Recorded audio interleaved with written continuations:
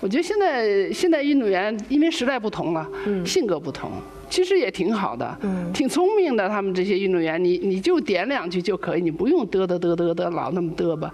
就是有时候，呃，尤其是他做错了动作以后，你跟他讲，他会反应过来的。但是他没做的之前，你跟他讲，不像以前我们听。现在小孩觉得他都懂，他们也挺就是挺积极向上的那种。呃，但是。比较比较愿意那个种表表现出来，像我们那会儿就是比较含蓄嘛。现在小孩子有但我估计你现在就有慈母情怀了。哎，是是是，是不是啊？我一看他们就跟孩子一样没错没错。以前我那九几年带队员的时候，呃，那会儿年轻，有时候还真挺生气的，觉得这孩子那么不懂事儿啊什么什么的。然后现在觉得，哎呀，他不就一孩子嘛，就跟是你女儿一样，他们年龄有的比我女儿还小呢。嗯嗯。再给朱婷，漂亮！这个球接内，中国队拿到最后一分，冠军！中国队重回世界之巅。经过四局的较量，中国队以三比一战胜日本，获得冠军。这次胜利是中国女排在十一年后重回冠军宝座。而从二零一三年执教算起，主教练郎平仅用了二十九个月的时间。二零一三年。郎平再次临危受命，接手青黄不接的中国女排。她上任后最重要的举措，便是从各地方代表队选拔了一批年轻队员。和郎平过往带过的队员相比，他们的身体条件更为出色，但也有着九零后独特的个性和脾气。面对如自己女儿般的队员，如何率领他们完成国人争金夺银的期望？对于郎平而言，绝不比当年自己打球来得轻松。二零一三年的一次采访中，刚刚上任的郎平就曾调侃过年轻的队员们：“现在这些队员都是九零后了哈，自我感觉特好。然后呢，当时啊，是这回事啊，啊，就是就是他不知道他自己不懂，嗯嗯，他觉得他都懂，啊，其实他不懂。”你就得特别耐心的跟他讲，然后呢，有时候其实你不用讲太多，他梆一下撞墙了，他说哦，我没懂，嗯，完回来你再跟他讲，哦，是这么回事，嗯，他不像我们一开始就听教练的，我们那会儿就听啊，为什么教练这样？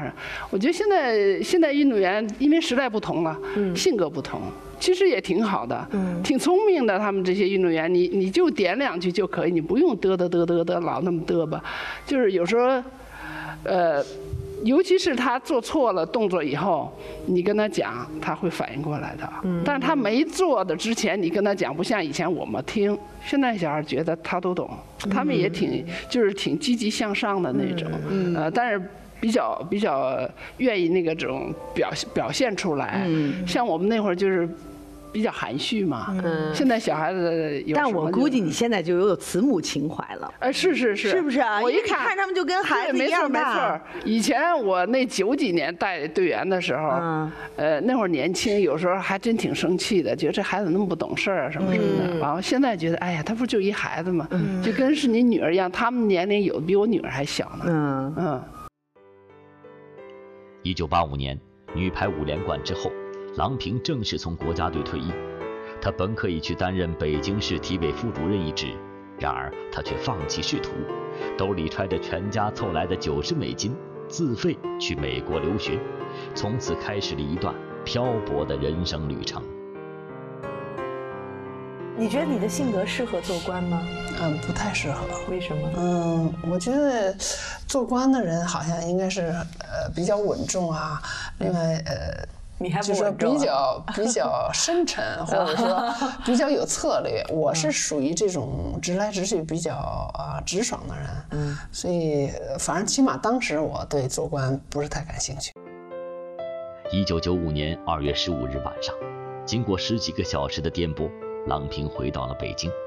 一下飞机，国人的热情出乎了郎平的意料。此次回国，郎平特意告诉体委和家人不要声张。可记者们还是知道了这个消息，早早的在机场等候。此时，郎平已经三十五岁，距离他退役已整整十年。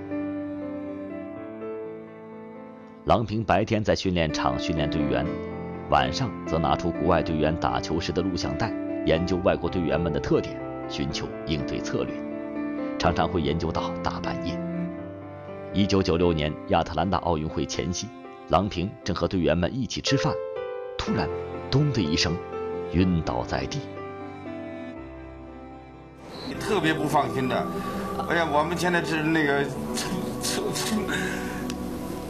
挺担心的，因为他他的一生一生啊，都是都献给女排了。另外，我们那些朋友啊，一些个球迷啊，也都来电话，叫郎平呢要好好的来休息，不要老这么疲劳。这个三四年的时间很苦吗？辛苦吗？挺苦的，但是我觉得当时可能那种热情和那个那种责任感，然后再加上还年轻吧。我现在想想，哇，一天站在场地七八个小时，然后回来还要带队员看录像，挺累的。我现在觉得我站四个小时都受不了了，现在。所以觉得那会儿还是，嗯，主要还是觉得有动力、有压力吧。就觉得自己责任重大，这个球队整个交到你手上，这个命运交到你的手上了。嗯。尤其是对球员，觉得他们，因为我自己做过运动员，觉得参加奥运会不容易，啊，所以希望他们能拿个好一点成绩。